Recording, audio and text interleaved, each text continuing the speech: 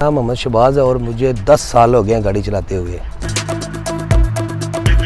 मोहम्मद शबाज का ताल्लुक ज़िला गुजरात के एक नवाही गाँव से है। दिन का पता चलता है ना रात का। तो कभी तो कभी दो दो दिन तीन दिन दिन गाड़ी में गुजर जाते हैं। शबाज की आमदनी का वाहिद ज़रिया ये टैक्सी है। कभी कभी ऐसा भी होता है कि रास्ते में गाड़ी ख़राब हो जाती है। तो उसके अलावा मैं जो कस्टमर होता है, उसको अपनी मंजिल तक पहुँचाता हूँ। मैं ख़ुद ही हैंडल करता हूँ, क्योंकि इतना एक्सपीरियंस है कि गाड़ी को मैं मेंटेनेंस जितना होता है ना, वो खुद कर लेता हूँ। तरह तरह के लोग मिलते हैं, कुछ अच्छे भी मिलते हैं, कुछ बुरे भी मिलते हैं, लेकिन अल्हम्दुलिल्लाह, सबके साथ मैं बिल्कुल ठीक टाइम बिल्कुल अच्छा टाइम गुजारता हूँ। कभी कभी ऐसा भी होता है कि जितनी आमदन हो ना, इससे ज़्यादा खर्चे हो जाते हैं।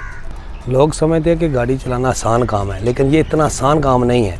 रात को कई दफ़ा ऐसा भी होता है कि मुझे रात के लेट तक, मुझे कॉल आ जाती है एमरजेंसी लेकिन मैंने कभी ना नींद देखी, ना कभी अपना खाना देखा, मैं उसी टाइम उठ उठ कर चला जाता हूँ।